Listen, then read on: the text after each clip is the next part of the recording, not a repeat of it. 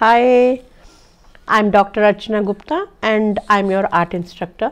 I'm going to teach you all the mediums, all the styles and all the subjects as you can imagine in art, whatever is needed in your art colleges, schools and how to become an art instructor yourself so that you become a successful uh, artist and art instructor. That's what I'm going to teach you in this. Thank you.